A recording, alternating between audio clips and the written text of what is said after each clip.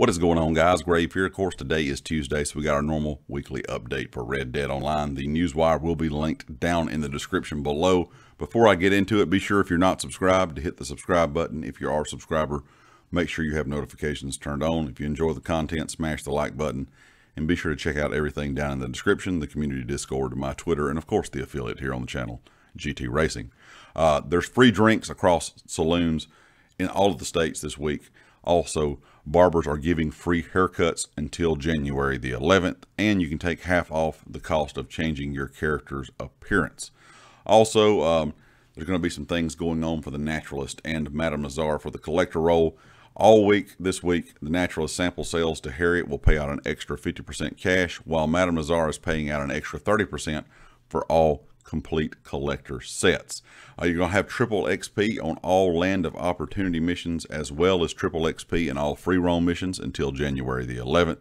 Some of the discounts you will see this week is 30% off all revolvers, 60% off all ammo, 50% off all food, 30% off all stable stalls, horse tonics, and horse food, 40% uh, off all horse equipment, so that includes saddles, saddlebags, stirrups, blankets, and horns, and 30% off all legendary Ram garment sets in Gus's store.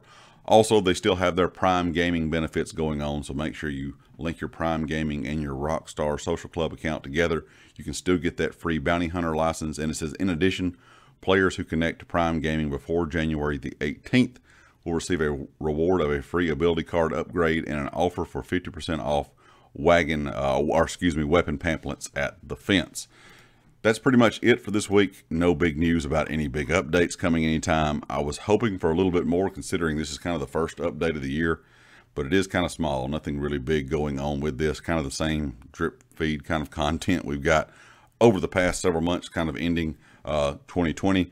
Hopefully this will change in the near future, but we'll kind of have to wait and see. Leave me a comment with your thoughts, guys. And of course, if you liked it, hit the like, and I'll catch you all next time. Peace.